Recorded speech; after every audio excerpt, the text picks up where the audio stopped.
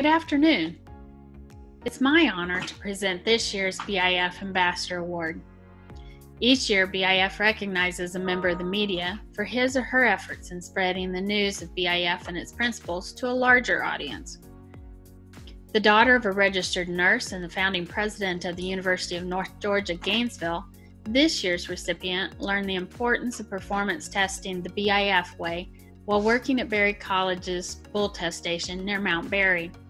Though she went to school to learn how to take care of her horse, she says she quickly learned she adored cattle.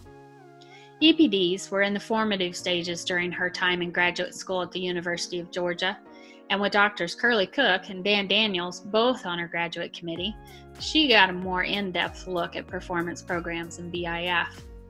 This year's recipient says she accidentally launched her career writing a short story, later published in a school paper, about her experience at an AI school. Then, while attending a Stocker Finisher tour, she met John Leidner, an editor at Progressive Farmer. He encouraged her to write an article for the publication, then hired her that summer to work on the Sunbelt Expo program. In addition to Progressive Farmer, she is a field editor at the Angus Journal and the Angus Beef Bulletin, and she writes for the Gulf Coast Cattleman. Throughout her 40 year career, she's written for Farm Journal, including its Hogs Today, Dairy Today, and Beef Today publications.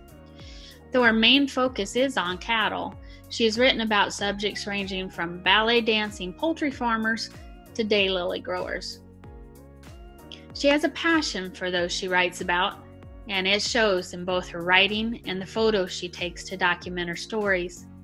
She has a knack for taking complicated subjects and revealing the practical application through the experience of fellow producers. Combine that with her love of cattle and people, and writing to support BIF was only natural.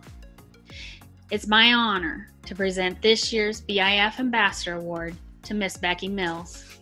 Congratulations, Becky.